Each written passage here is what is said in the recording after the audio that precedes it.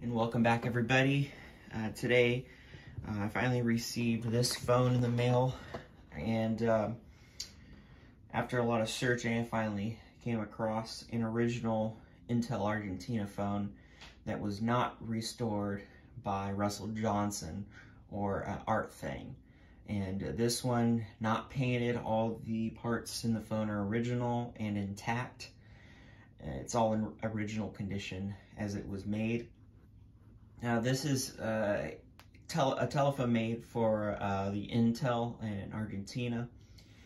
And this one actually is not made by Siemens. So uh, others were made by Siemens and they had a Siemens dial, but this one has a face standard dial.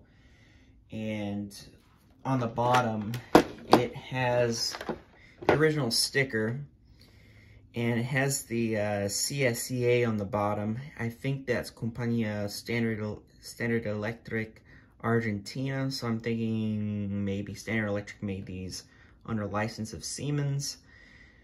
I'm not sure. If this one was made by Siemens instead of CSEA, would have Siemens here and Siemens there. And that uh, indicates the color of the phone. Uh, gris is the Spanish word for gray. And that's the ENTel Argentina logo. And it's supposed to be the month and year of manufacture. And that's a model TLF, uh, model 300.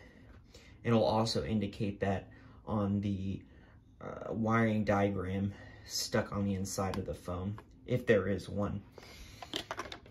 You can see the bottom's really, really dirty. I gotta figure out how to clean this without uh, removing the sticker. I guess I'll have to go around the sticker because I don't want to remove it. Handset cord is kind of hanging in the back. It looks like it uh, broke out. So I'll have to figure out how to get that in because it looks like it, I don't know, a lot of bending. You can see the cords are pretty dirty. They'll need to be cleaned. You also see it has ENTel on this line cord stamped. And also has that on the handset cord as well. I know this phone's a boring color, but you know, it's nice to have an original. And it has the face inner dial and someone, uh, whoever stuck the peso coin in there. It's kind of an interesting idea. It's nice to, and this one came straight from Argentina too. Um, so I guess I get a free peso with this phone. So that's cool. And it's a 2020 coin as well.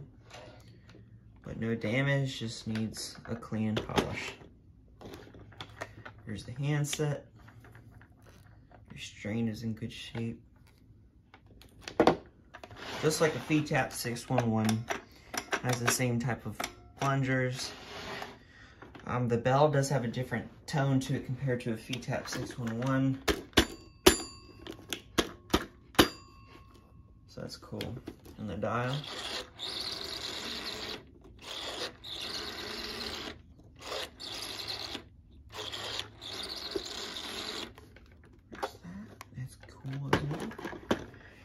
There wasn't a picture of the end of the cord.